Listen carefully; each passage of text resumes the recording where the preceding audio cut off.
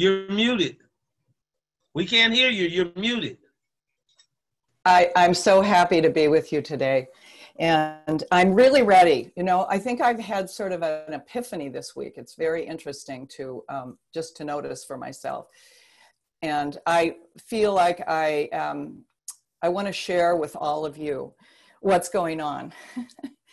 um, I feel like passion has come into my life over the past 30 years in so many extraordinary ways. And I think that for me, if you take nothing away from my talk today, what I want you to take away is to connect in with your passion and allow that passion that is yours to really drive who you are in the world and to really allow you to connect more deeply with others in the world. So um, I was thinking this morning when I was a little kid my my best friend was was Care Bloom, Care and Fred Bloom, and they had a dad who was really different from my dad. They had a dad who would like build go karts, and he was always creating stuff. You know, my dad was kind of businessman and played golf and did stuff like that. But Care Bloom's dad built this swing on the side of their garage, and he put a ladder. You had to climb up the ladder, holding the rope from this swing that was off on a great big huge tree in the middle of their yard. And as kids we would hold you know you had to hold the rope and climb up the side of the garage and then you'd stand up at the end of the ladder put the thing between your legs and the deal was you had to yell let her rip. And you let go and you went flying over their yard. I mean it was a little scary um, but that has always been like, yeah, let her rip, you know, like there was such joy in that as a kid to do that. There was like a, a little bit of fear, but then once you let her rip, you were like, this was great, let's do that again. Up you go, you know. So, anyway, I was kind of thinking about that this morning while I'm in the shower, and I thought, this is a let her rip talk, okay? Um, so, I'm gonna, I have some slides because I just have gotten crazy about doing this and I just think it's so much fun to be able to share things with people. So this right here is a guy, his name is Ravana and he's the 10-headed man. And, you know, there's stories in India about Ravana um, and, and I guess what I wanna say is I um, think I spent a lot of my life being the female equivalent of Ravana. I had all these different things going on inside my head. And I was very confused. Uh, I was just not feeling like good about my life in so many ways. Um, and for me, my strategy was to drink wine. And then I saw, thought I felt better. There you go. Uh, but what ended up happening was I found myself in a 12 step meeting. And in that meeting, there was this really calm woman. I was just like, Ravana, you know, like Mrs. Ravana. Upset about my husband, upset about my kids, mad at my mom and dad, not happy with my work, you know, everything was just doing that.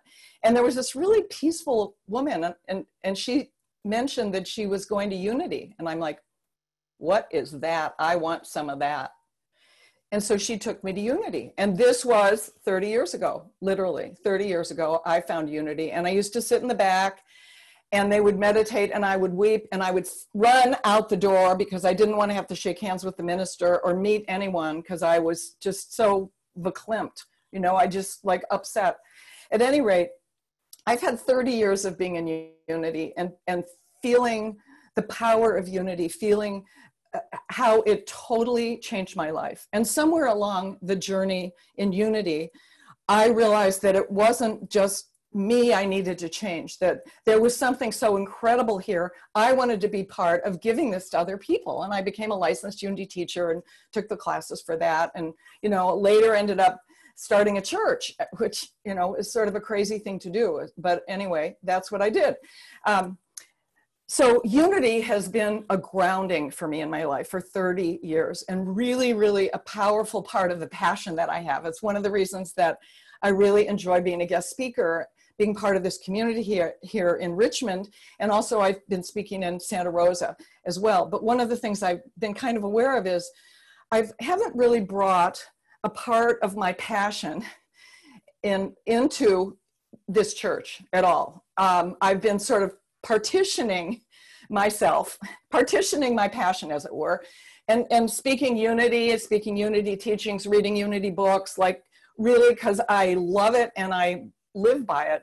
But I haven't ever really shared my experience that I've had in India, which has basically been 15 years of experience of going to India. I've been to India 20 times or so. Every year I go. I started, had my first experience actually in 2005 when a licensed Unity teacher friend of mine had been to India and came to my office in Berkeley and put his hands on my head. And all of a sudden it was like, what was that? I think I want to go to India. So Roy and I went to India shortly thereafter, you know, 2006, March, I was in India. And, and I've had multiple experiences there um, and been, I've been connecting in ways that brought synchronicities into my experience, which told me I was in the right place. The very first time I went to India in 2006, they put me on a campus with Native American uh, and healers from all over the world. And there was a, um, a Mayan elder, his name is Don Alejandro from Guatemala, who was there. And he had been at my church. We'd done a fire ceremony at my church, Unity of Berkeley, several months earlier. And I'm like, whoa, this is an interesting little synchronicity. So things like that would start to happen. But what happened for me, my very first visit, was the awareness of the global experience that I had um, basically been drawn into because there were people from all over the world, from all different spiritual traditions. In this case, we had all these different native uh, uh, chieftains from various tribes in the US and Canada. We had um, elders from Zimbabwe. We had people from Peru, people who spoke different languages. Then there were people who were from different um, countries who were Buddhist or they were Muslims, they were Hindu, they were nothing, they were Christian. Um, and, and it was very clear to me that what they were speaking was so much in alignment with what I had been living for the past 15 years as a Unity student, as a Unity teacher, and then as a Unity minister. Um, over time, I had many experiences in India and um, I became a, uh, a oneness trainer in 2010. 2012, they initiated me to, to, to bring a transmission through my eyes. And I traveled around the United States. People would, would pay me to come, they didn't pay me, I went, they would pay my airfare. I would sit in front of people and do this meditation, and people would go into very big states. So I became aware and, and got to know people all over the United States. It was about four or five year period when I was doing a lot of traveling. Um, then I also had a, an experience of teaching people as a, an advanced trainer health processes, ancestor processes, wealth processes, family, family dynamic relationship processes. I also had the opportunity to create in my home, take, get rid of my office, which I'm sitting in half of right now, and create two sacred chambers that people like Kathleen um, and uh, OSHA was on, but she's not on now. People would come to my home and we would sit and go through a process for two or three hours. And they would come and they would sit in these chambers and really have a deep experience of the divine. It was a, such a blessing for me to do. I packed up all my books and, you know, didn't read for five years. I also then was trained to teach other courses and um, now I'm doing online courses three, day, three days a week. I teach online courses and every day I do two daily meditations that are free meditations for people who come from all over. So, and again, it's not about me. This is not about me. This is about passion. It's about the passion that I have that I got ignited for me when I was able to connect and see how I'm not unique, how we're not unique. Even as Unity students, we're not unique because there are people all over the world who believe and know and, and live their lives in the same way that Charles and Myrtle Fillmore taught us to live our lives. So I, would like to show you a couple of um, actually pictures of the place in, in India that I go to and just to give you a sense of the vastness of what this is. And part of it, part of what, why I'm saying this is that I believe this church, Unity of Richmond East Bay, you, this church has a potential to impact so many people. You know, when we grab our passion, we understand who we are, and we get the gifts that unity gives us to transform our own individual life, we, we, we have to give it out. Otherwise, we're like the Dead Sea. You know, Jesus talked about that all the time. That was the daily word today. I, I love it. I mean, this is what Jesus has taught us, and it's the teaching in every spiritual tradition. What you're seeing on your screen right now is a big, huge meditation hall that's made all, it's made out of white marble. It's huge. The top floor of this particular uh, meditation hall can hold 5,000 people sitting on the floor. There are no columns at all. Um, and it's a place where people meditate and they offer prayers on a daily basis. It's located in a very sacred forest on some very deep and powerful ground. And I've been going to this place um, even before it was built. I, I, went there in 2006 before they actually had completed the temple at all. This is a picture of uh, a group of my classmates having taken a course and we all gathered after our course in front of the temple. Uh, there were people from all over the world. As you could see, it, it's a, it was a good sized group, but nothing like when everybody comes there. There were probably maybe 500 people there. Um, it's, it's a very powerful energy field, a very powerful place. There are 11 campuses that this O&O Academy, which is Oneness and One World Academy owns. They are now currently teaching classes online. Before I used to have to go to India, but right now things are happening online and that's why I'm able to teach online.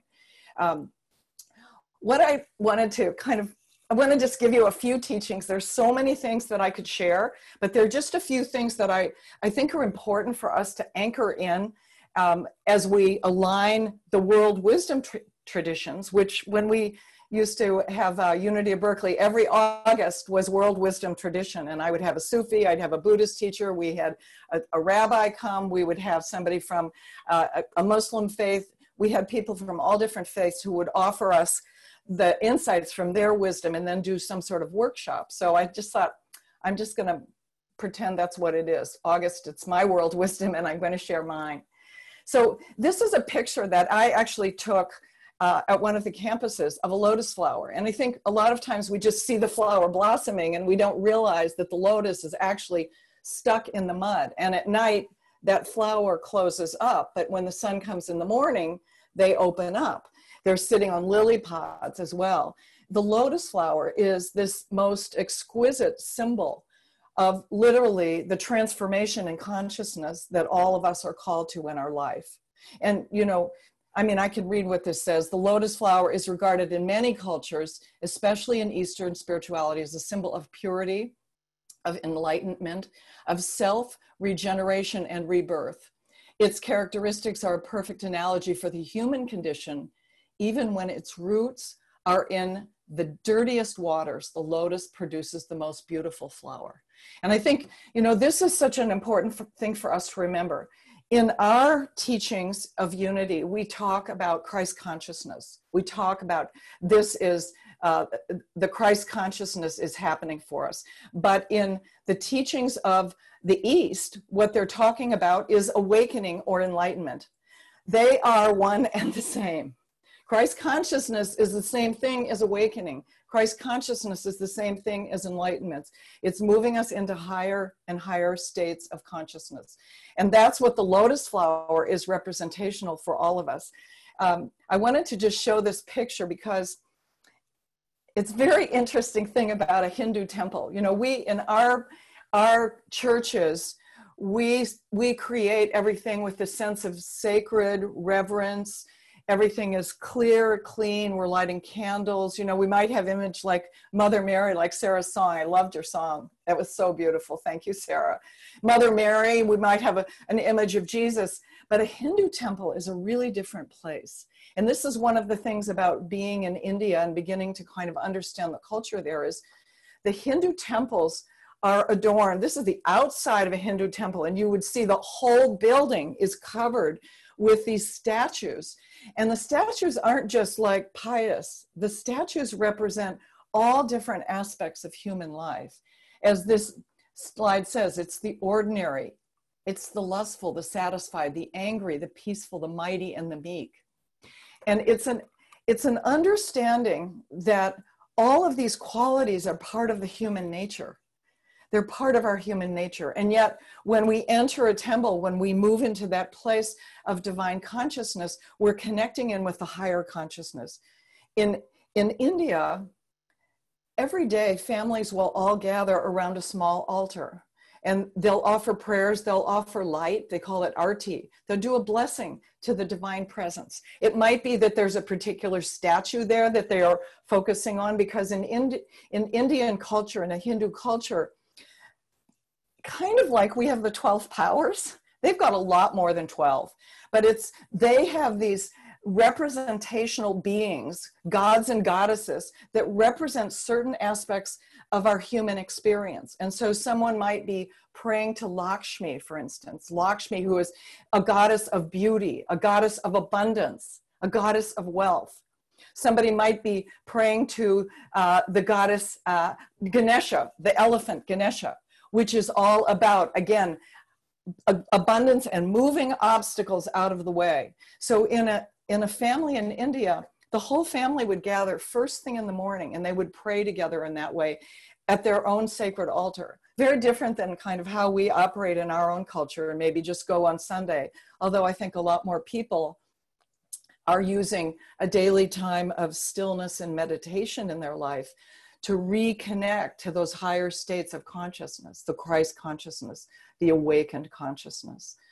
So I just wanted to share some of these things that I think if you if you know this it might just bring a little more awareness to the practices that you have in terms of your prayer practice and also more of an opening to a welcoming of people of other cultures and other traditions we all have heard the word namaste. And you know i think uh, sometimes i just kind of say that because i'm used to being in india.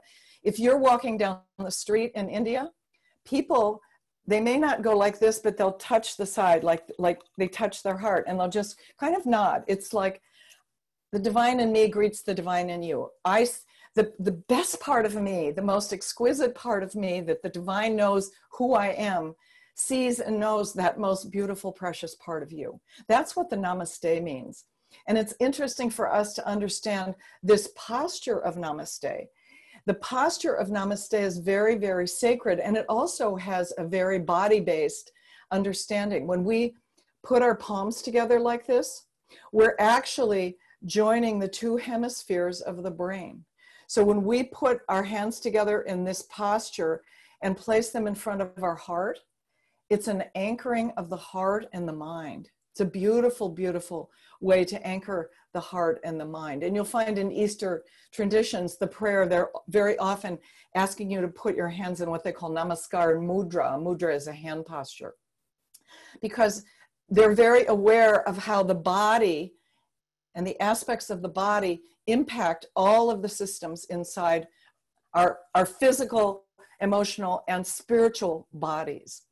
So I'd like to share a little bit um, about that with you and also do a really, really simple uh, breath practice because I just am letting it rip. That's why. so, this particular picture is a picture, um, it's an, and it's a mirror picture of the body. And you'll see that there is kind of a like a crisscrossing that's going up through the middle. If you think of it like two different rivers and they're meeting at different towns in the middle, that's kind of what I thought of here. Um, each of the dots that you see are like a vortex of energy, like a little wheel of energy. This system is called the um, subtle body nadi, N-A-D-I system. And just like many of you may know of the Chinese culture where they talk about meridians, and the, we have a lot of meridians, and when you have acupuncture or even acupressure, they're actually activating those individual channels in the body. Well, in the Hindu culture, they have the same understanding and they see that there's 72,000 of these channels running through the body. And the main channels, there are three main channels that run through the body. And those three main channels literally crisscross as they go through the center of the body, coming up in front of the spine. The first channel is a channel that activates the energy of the moon. And it's interesting to think about this because, you know, we, we know our bodies are made of a lot of water and we talk about ourselves being one with all life. We're one with the plants, we're one with animals, we're one with the air. We're connected in such a vibrant way, but I don't think we often think, oh, I'm one with the moon or I'm one with the sun. But, but the Hindu culture and the, the yogis were able to see these energies, the lunar energy and the solar energy, as it moved through the body. And what they what they invite us to do is literally balance the energies in our body, the solar and lunar energy. The lunar energy is running up and it runs up through your left nostril. If you breathe, take a moment right now and just put your put your hand under your nose. Don't touch your nose. Just put it right under your nose and notice that one nostril is more more strongly breathing than the other. Just notice as you exhale. throughout the day that the, the breath alternates between the lunar and the solar energies in the body. And so we have an opportunity to actually balance this energy by doing a really simple breath, practice. So I thought I would try it with you if you're up for it. It's so very easy. What you're going to do is you're going to you can use your thumb and your and your pointer finger, you're going to close your close your right nostril. So you're going to be you're going to inhale through your left nostril. Then you're going to close both nostrils. Hold your breath. Hold it as long as you're comfortable. And then you're going to open that nostril again. Open the left nostril and exhale. So let's do that three times. So inhale, close your nostrils, hold your breath as long as comfortable, and when you're ready, open up that finger, open up the left nostril, and exhale slowly. So do that, try that three times at your own pace. Slowly is good. Left nostril only.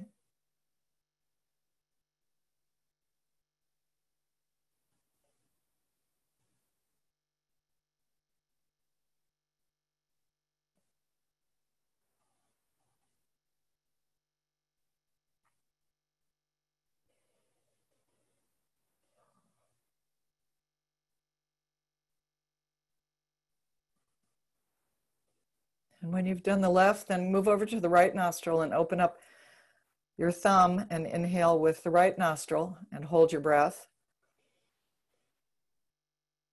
Close the nostrils. And then exhale again through the right nostril. And do that practice another three times slowly.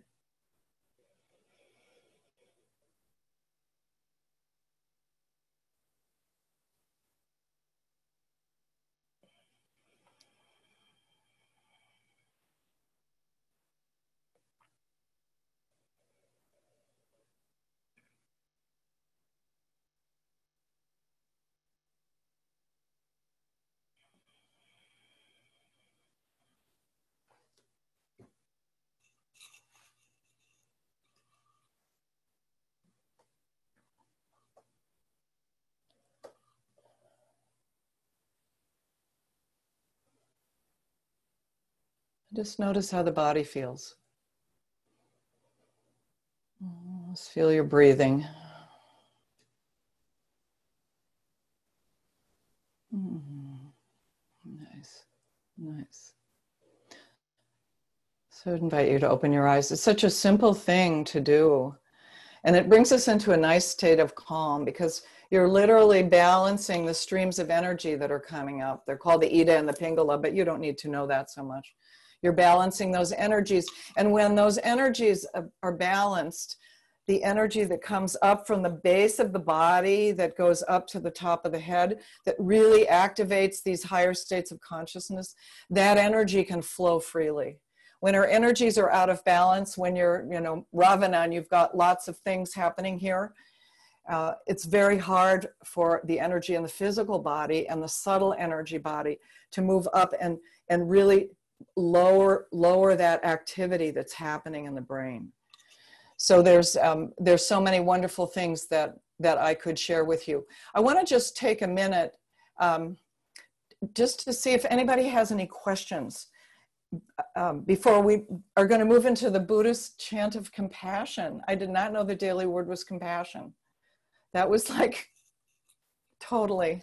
I just want to see if anyone has any questions of, of any of the things that I shared. This is like such a little tiny slice, but uh, you know, it's important to understand that so much of Charles Fillmore's teachings, like the law of mind action, is the law of karma.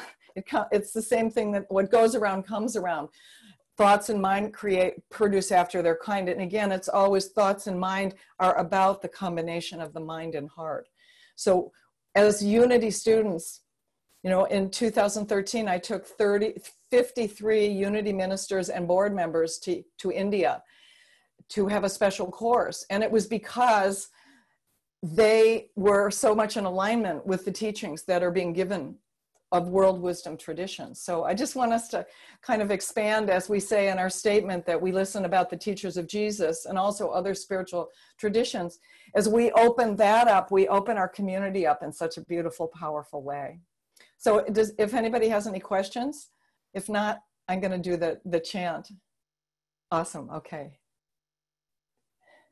Thank you all for indulging me let her rip today.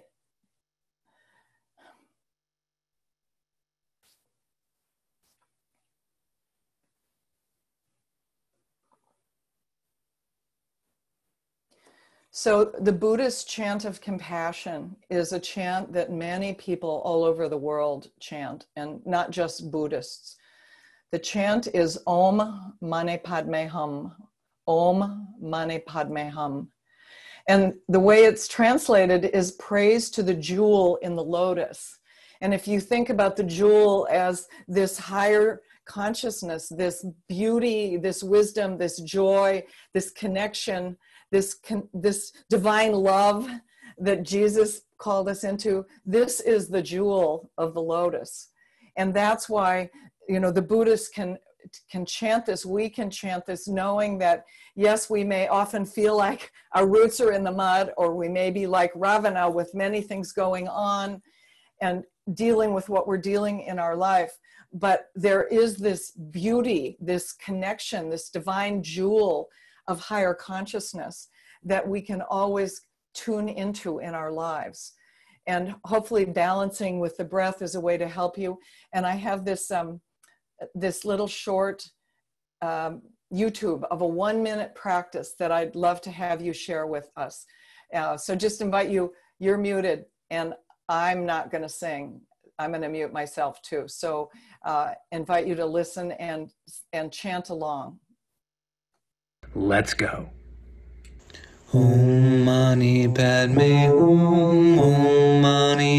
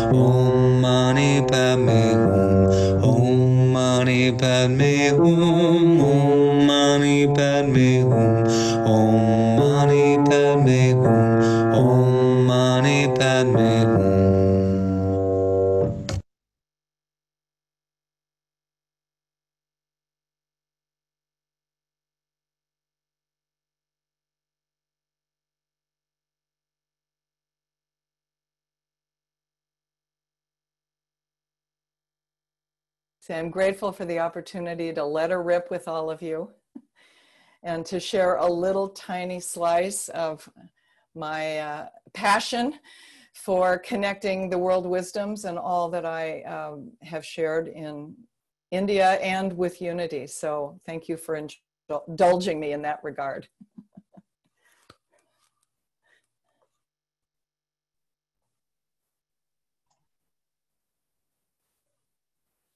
Wonderful message today.